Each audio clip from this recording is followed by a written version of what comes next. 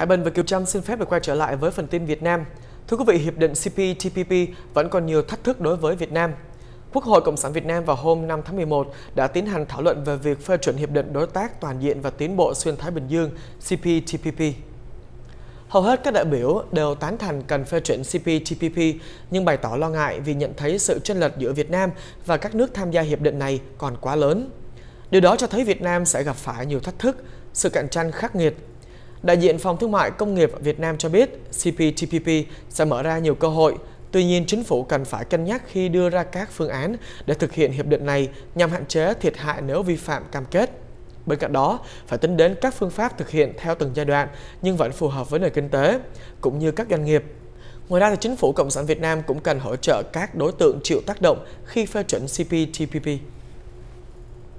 Thủ tướng Pháp đã tránh trả lời về vấn đề nhân quyền tại Việt Nam với báo chí. Tại Sài Gòn vào ngày 4 tháng 11 trong ngày cuối của chuyến thăm Việt Nam, Thủ tướng Pháp Edouard Philippe trả lời với báo giới rằng Pháp không che giấu bất kỳ một vấn đề gì được thảo luận với phía Việt Nam về nhân quyền, thế nhưng không qua con đường báo chí. Được biết, chuyến thăm của Thủ tướng Pháp tới Việt Nam nhằm thảo luận về các vấn đề về kinh tế, nhưng lại trùng với thời gian dự thảo luật an ninh mạng đang được công bố. Luật an ninh mạng dự kiến có hiệu lực vào tháng 1 năm 2019 tại Việt Nam, được các nhà quan sát đánh giá là bắt trước công cụ kiểm soát và đàn áp không gian mạng của Trung Quốc. Luật này được nói sẽ hợp thức hóa việc thường xuyên bỏ tù có tiếng nói bất đồng trong các một quốc gia độc đảng như Việt Nam.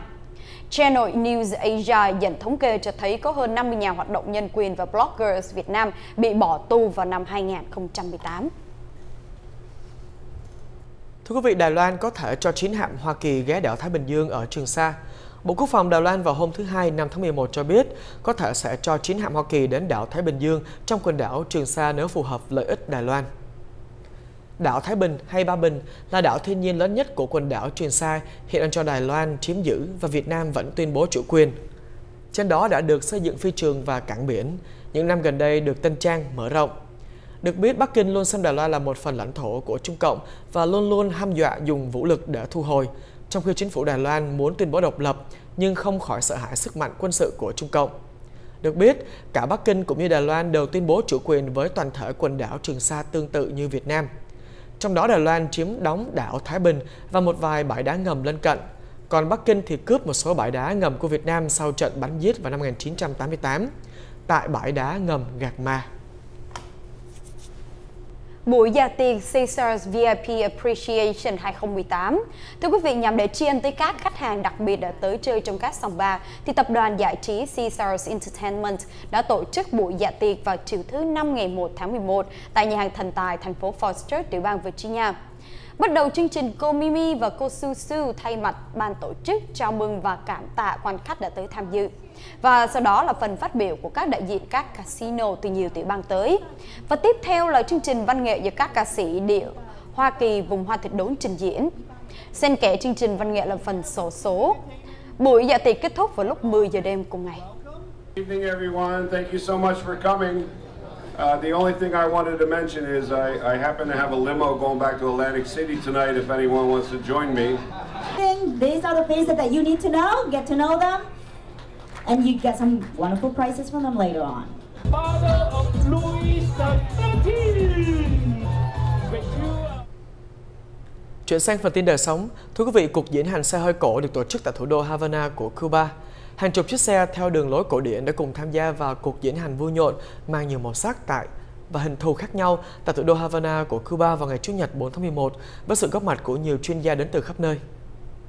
Sự kiện này vào mỗi năm thường được câu lạc bộ xe hơi, Alo Cubano Car Club tổ chức.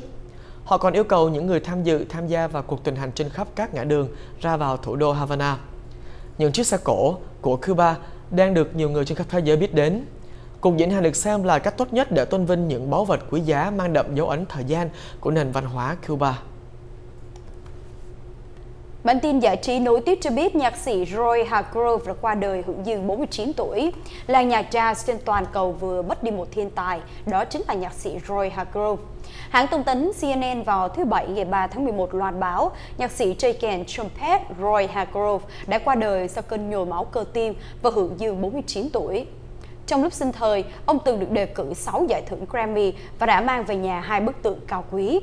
Ngoài vai trò biểu diễn solo, Hargrove từng là thành viên của nhóm nhạc The Soul Quarians, vốn đã hợp tác cùng với các ca sĩ nổi tiếng khác như Erykah Badu, Common và D'Angelo.